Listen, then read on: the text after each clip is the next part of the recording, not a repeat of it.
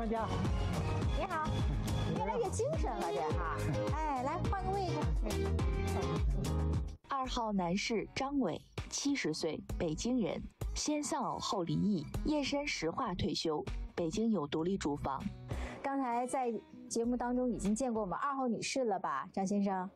见过了。啊，对女士的印象怎么样啊？二号女士是一个，我总觉得是个女强人嘛。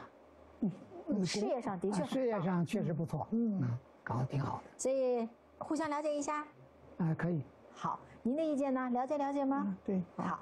有缘千里来相会，无缘对面手难牵。场上的两位能否擦出爱的火花？接下来进入更想懂你环节，有一些我们要了解的啊。女士是有一个女儿，已经在北京成家立业了，应该经济条件也不差啊。呃，对于再找也是支持的，是吧？嗯。先生呢？我有一个儿子，嗯，多大岁数了？嗯，四十二了吧？嗯，属马的，也都是，也也成家立业了啊，都都有一个孙女啊，孙女都十岁了，呵，真不错哈，所以现在也没有什么负担了啊。他对您再找的意见是什么呀？他们听我的意见，啊，也是支持呗，就你想找什么样的都行，是不是？嗯，对。哎，好，您的健康情况，我。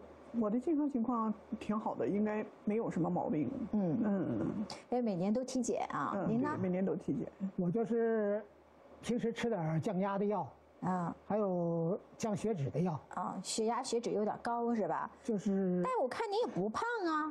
不胖不胖，就是我是平时吧，如果不吃那个降血脂的药吧，我那个甘油酸酯就高。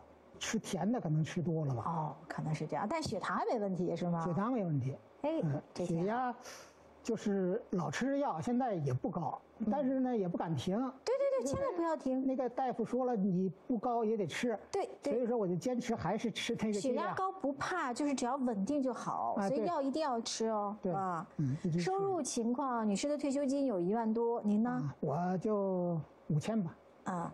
其实，在北京这个也不错哈。住房，女士在哈尔滨是有房子的，北京是没有，因为女儿房子还比较富裕嘛。啊，您呢？我在北京那个，就是六环以外有一套房子。嗯，多大？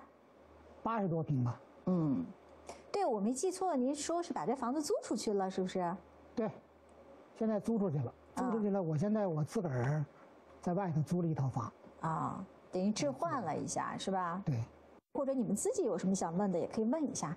有问题吗？嗯，我没啥问题。没有匹配度。因为这位女士根本就没看上，所以她就她就没有问题了。